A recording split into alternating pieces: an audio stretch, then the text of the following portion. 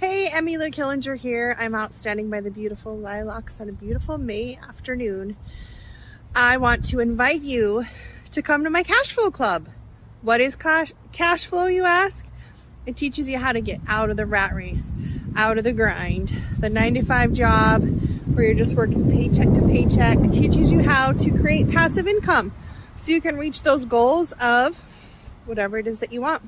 I know some of my goals are to spend more time with my family, spend more time traveling, helping people, serving others. And I have a club at my house. I'd like to invite you to that. If you're interested in coming, I will let you know when the next one is. So let me know. It's a lot of fun. Talk to you later. Bye.